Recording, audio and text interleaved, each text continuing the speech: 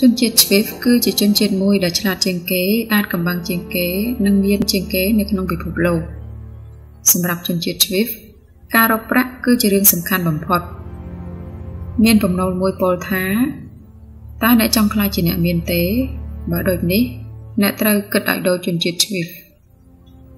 មិនត្រឹមតែប៉ុណ្ណោះពួកគេយល់ពីធុរកិច្ចយ៉ាងស៊ីជម្រៅនិងមានការព្យាយាមស្វែងរកភាពមានបានណាស់ រហូតបានបង្កើតទស្សនៈដាស់តឿនខ្លួនឯងមួយចំនួនដូចជា1នៅពេលអ្នកជួយមិត្តភ័ក្តិចេញពីរណ្ដៅភក់អ្នកមិនត្រូវខ្លាចថាខ្លួនអ្នកនឹងកខ្វក់ទេ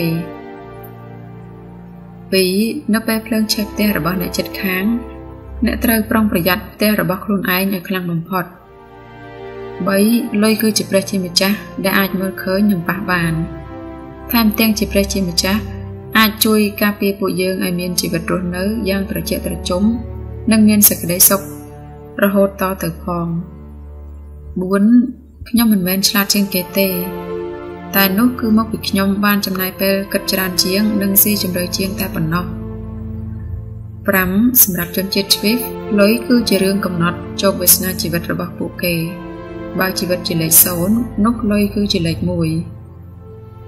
6នៅពេលគ្មានលុយទិញស្បែកជើង យើងអាចខ្ចីអ្នកដទៃបានព្រោះការ